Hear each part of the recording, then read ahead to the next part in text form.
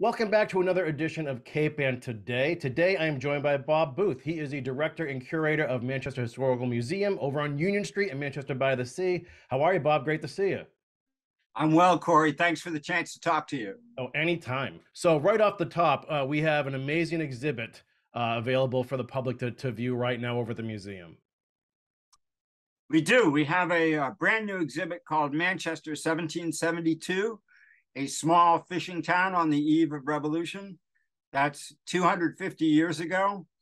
It's a big exhibit. We're using the outdoors as well as most of the inside of the exhibit area of the museum. And we're looking at this town of Manchester, which everyone sees as a pretty well to do kind of place these days, as a place 250 years ago that was just involved in subsistence fishing and farming. So it's a whole different culture. It's a culture that is at the very end of its existence within a British colony. 1772 is right on the eve of the revolution. I wanted to grab a look at these people who had been there for several generations, the descendants of the early settlers, creating a really tight uh, community that people felt very strongly they belonged in and one of the things that we look at in this exhibit is what happens when you outgrow a little town like Manchester. Where do you go to seek your fortune? So it's a it's a pretty down in the street look at something that people don't usually look at, which is a working class place, mm. including uh, a good hard look at the elements of the cod fishery, which in those days was the largest economic engine in all of Massachusetts.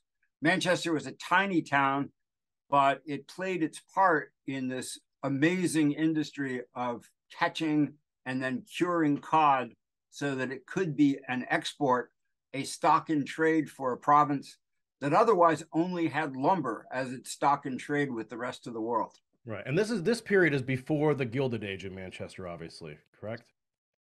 it's a hundred years before the Gilded Age, Kory. Yeah. There is nothing gilded in Manchester in 1772.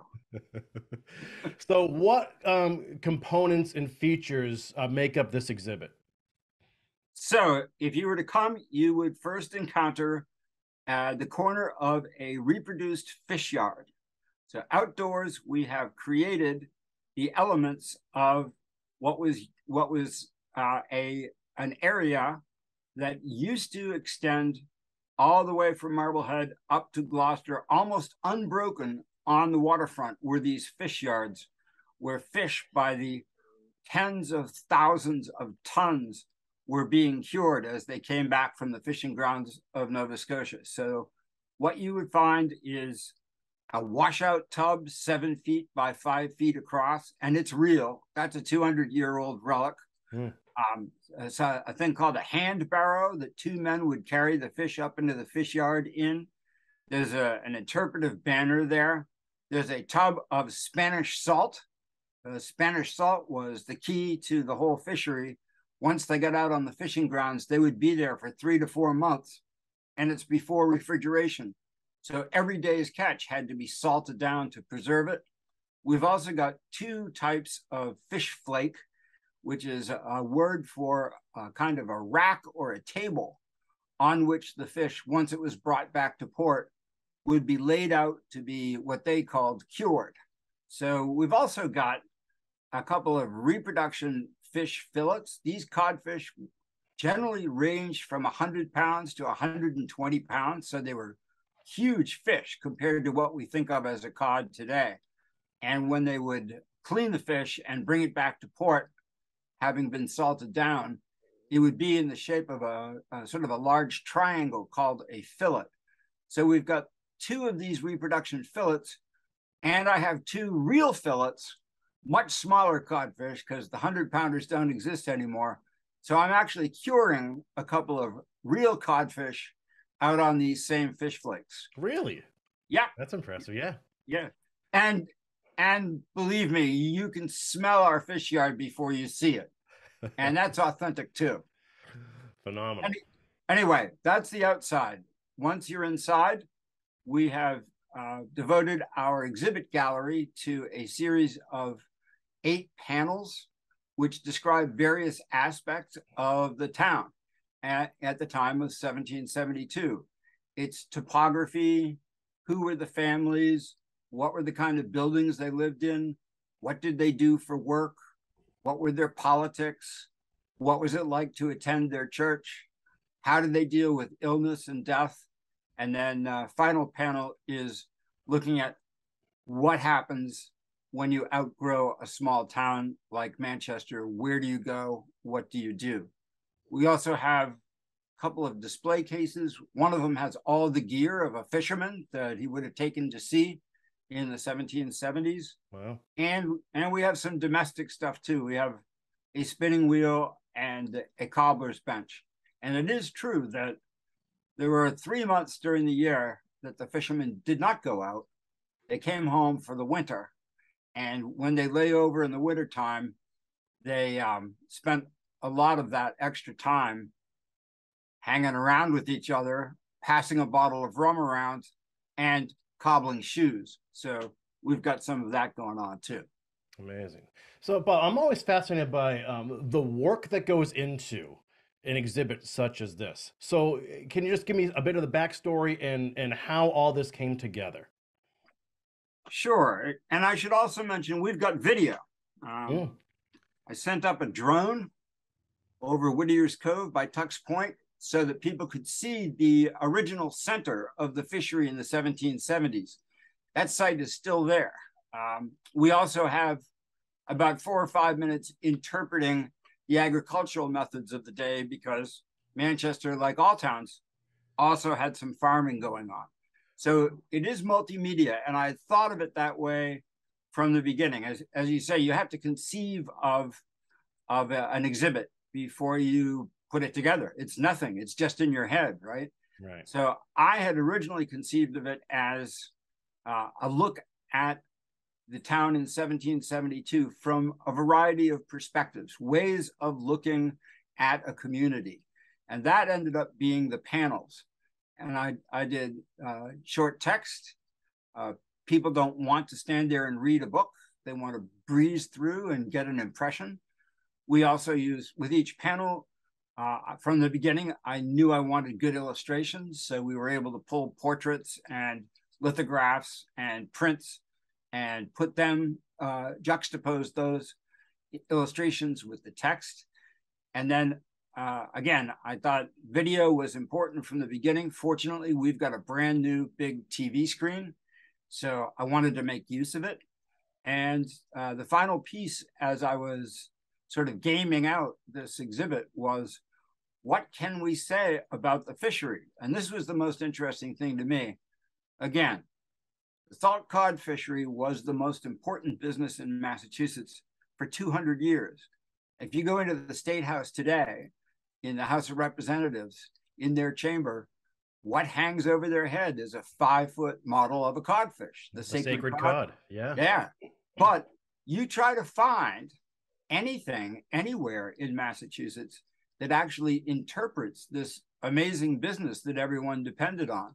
And there's nothing left. There's no material culture.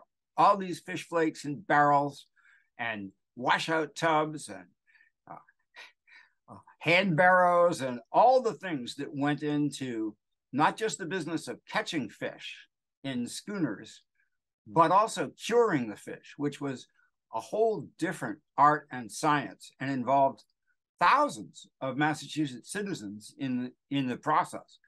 Try and find even one scrap of any of that. It is gone. So I was determined to be able to reproduce at least what would be the corner of a fish yard with a variety of different elements. And since there was nothing I could get that could be loaned, since it didn't exist, I reached out all the way to Nova Scotia. And it turns out that in Lunenburg, Nova Scotia, which has the wonderful Museum of the Atlantic Fisheries, including the, the schooner Bluenose that used to race against the Gloucesterman. Yeah. Uh, I have a friend there, Adrian Morrison, who runs that museum. And it happened that Adrian was deaccessioning some of their fish yard collection just at that moment. So I was incredibly, I was able to grab uh, an authentic washout tub and an authentic hand barrow and some other um, elements, particularly the fisherman's gear that were that had actually been used in the fish yards and on board the schooners. So so now, I guess alone in Massachusetts, we've actually got the things that were used in a fish yard or that were worn by the fishermen. And I also have to put in a plug for Jeff Parker, who is associated with our historical museum. Jeff built two fantastic reproduction fish flakes mm. uh, in a matter of about 48 hours. So we've got the whole deal. We've got also uh, reproduction fish fillets that were made by Martha Chapman out of uh, old Peabody leather and painted up to look like fish. So a lot of creativity went into it. Uh, the material culture part of it, I really wasn't sure it could come together. It's a different country, you know, Canada, and we had to get this stuff freighted down in time. Mm. But but I felt like this would be a huge impact if we could do it. And I, I also want to say that at the time that Manchester did its Festival by the Sea, uh, we were able to get uh, the services of a group called uh, the Ladies Society of the American Revolution reenactors who came down uh, and and sort of relating to the authenticity of the fish yard. Here were five women who were in complete authentic period dress from 1772 and they even did some of the scholarship of what manchester was like at that time so we, we've done a lot of different uh, as i say from the beginning i wanted it to be multimedia i wanted to have reenactors i wanted it to be outside i wanted to build something that would be permanent to manchester and frankly that would be um, maybe a benefit to everyone in massachusetts to be able to get a look at what a fish yard really was. Mm, nicely put, Bob. So now, if people want to go and see the exhibit, how can they go about doing that? Okay. We so should say this is free to the public as well, right, Bob? It is free to the public. If you feel inspired to make a donation, we won't try to stop you. Yeah. Uh, the the fish yard is uh, open all the time. It's outdoors, but our hours these days are Tuesday through Sunday, this was a museum that wasn't open, uh, generally speaking, a lot on the weekends, and that's something that's changed. So we want to be open. We want the public to come through. Generally speaking, we're open 10 to 3 Tuesdays through Saturdays, and then 1 to 4 on Sundays. Gotcha. And if people want to learn more about Manchester Historical Museum, how can they go about doing that? Well, actually, the, the best thing is to uh, go on the website, I suppose. We're in the process of building a brand new one. Um, the one that, the one that we have is serviceable, but not what it's going to be. Um, and and I guess the the other thing I can say is please feel free to just come by, drop in. Uh, we are trying to make a real effort to welcome people into a place that has seen seemed to be maybe in the past a little forbidding or um, or difficult to access. We'll put it that way. Well, I've enjoyed many an hour at the Manchester, Historical Museum. I have a great partnership with MHM as well. So I'm looking forward to seeing this exhibit, Bob, uh, and getting to know you better and work with you in the future. It's been a real pleasure. Uh, so thanks again for your time. And uh, folks, when is this exhibit running through, Bob? Right. So uh, it'll be running through the um, the rest of the week of Labor Day week. So I guess it'll close on the eighth or something like that. Gotcha. I've extended it by by a week. Uh, we seem to be getting a lot more momentum. We actually had 120 people on premises in early August. So oh wow, nice. Words out. Words Beautiful. out.